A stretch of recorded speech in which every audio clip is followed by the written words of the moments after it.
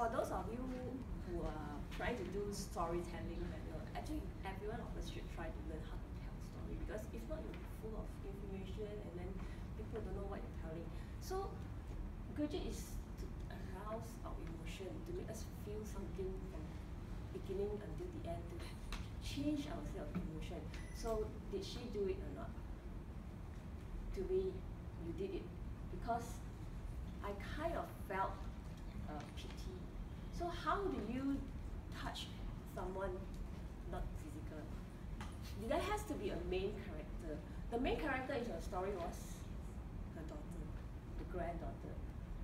And um, there will be a sympathy. So from the beginning, we have created sympathy.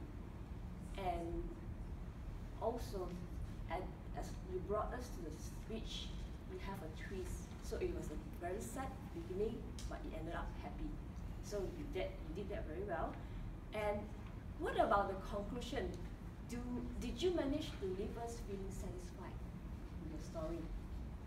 I, I guess you did because I felt very nice. It was a happy ending, but not all story like that. Uh, satisfied doesn't mean that it has to be a happy ending. It means that you have somehow fulfilled that kind of emotion that something good happened or some lesson that you can learn from the speech. Okay, let's go to your speech structure. You started with uh, this is a story. I'm going to share about a grandmother who didn't like her granddaughter and they become good friends. So, what is the message behind there? I would prefer that you put the message up front. For example, you can say okay, today I'm going to tell you a story about rejection and acceptance. You see the contrast? So it's about love and hate. And you can say a bit, it's not between the guy and girl relationship, but between the grandmother and her granddaughter. And a very young girl, very innocent, and then you go on with whatever beginning. I like the part where you say it happened 19 years back. It took us back to the past. At least we have an idea.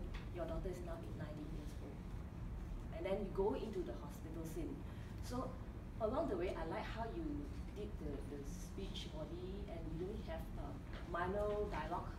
I wish you kind of match the dialogue because when you say that, uh, there's one part she said, your granddaughter asked, grandma, something, right? Then you said, she said, okay, but you said with a stern face. So a stern face shouldn't be okay, she okay.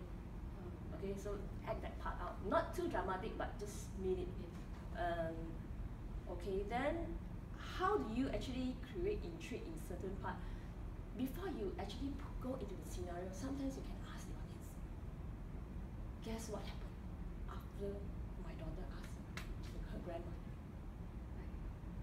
You pause and then look. Of course you want to know what happened, right? She said, again and again, my girl, my daughter was rejected. A young innocent child rejected by someone she looked up to, the role model. And then you go on with the story how your, your uh, what mother-in-law is the role model. So this is how you can kind of link the story. So um, I think yeah, that's all about it. And the rest I will share with you is uh, I would say you have improved a lot in your storytelling. So if you keep it this way, to create intrigue, satisfaction, have main character, a conflict, you will do well in your storytelling.